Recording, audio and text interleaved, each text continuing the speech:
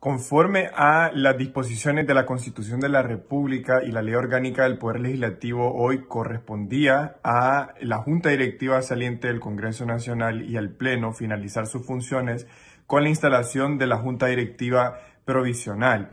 Conforme a los climas políticos que eh, se han llevado a cabo en las últimas semanas, el diputado del Partido Libertad y Refundación, Jorge Calix, recibió el respaldo de aproximadamente 84 congresistas pertenecientes al Partido Nacional, al Partido Liberal, alguna facción del Partido Libertad y Refundación y también del Partido Demócrata Cristiano y el Partido Anticorrupción. Esto en contradicción con el mandato expresado por la presidenta electa Xiomara Castro, también del Partido Libertad y Refundación, quien, basándose en el acuerdo suscrito con el Partido Salvador de Honduras, ayer mostró su respaldo y también eh, la instrucción a la bancada del Partido Libertad y Refundación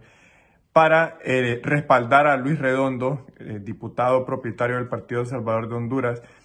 y que éste pudiera asumir la titularidad del Poder Legislativo